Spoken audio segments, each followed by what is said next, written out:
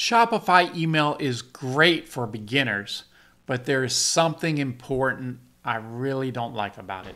Hey, this is Mikey at the Hair Business Blueprint, and as much as I love Shopify, I have to show you something big you could be missing out on with using their email marketing system. Shopify, where are the built in email marketing tools?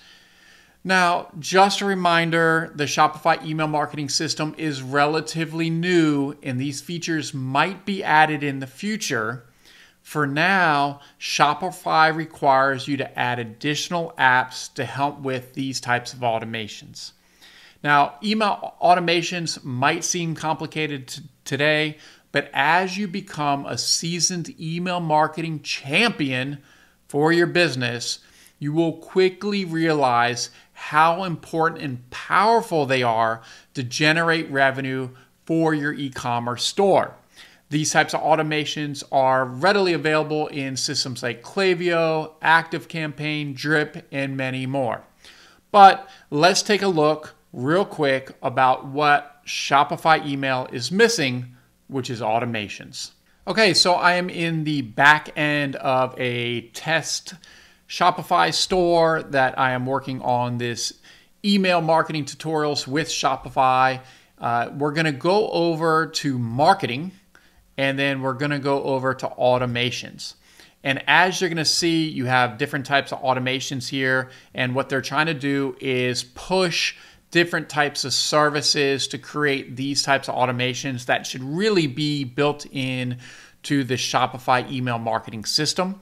Now, Shopify does have abandoned checkouts, uh, but if you're using a more advanced system like a Klaviyo, uh, you know, a single Shopify abandoned checkout, I would probably have a series of three that's triggered if there people aren't ordering. Uh, so this is just one, and it's just one automation. Now you can go to the Create Automations tab, and then you can go to Email but you'll see there's no extensions available and they're going to want you to go to the Shopify App Store to find more email marketing apps uh, that you can build these automations into this system.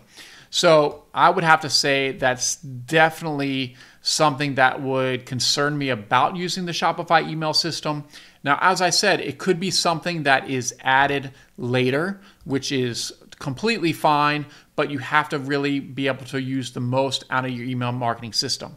Now, if you are just getting started out, um, you know, the Shopify email system is really user friendly and great to use, as you can see in this video tutorial system. And if this is the first video you're watching, make sure you check out the other Shopify email tutorials I have on my Hair Business Blueprint channel.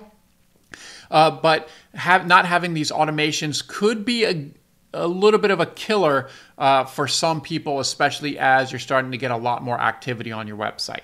So it's not a total deal breaker because of the cost of Shopify email is so low, and you know you can use up to 2,500 emails a month for your marketing. So I would say you know Shopify email is still great for the beginner, but definitely for someone that's the intermediate or advanced, you're going to want to use a different system that has automations unless Shopify builds them into their email marketing system, which I'm guessing they will do as soon as they watch this channel and watch this video.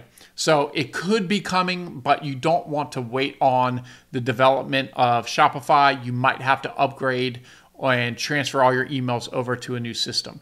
Like I said, not a total deal breaker, but it's something that I wanted to make you, my hair business blueprint viewer, aware of.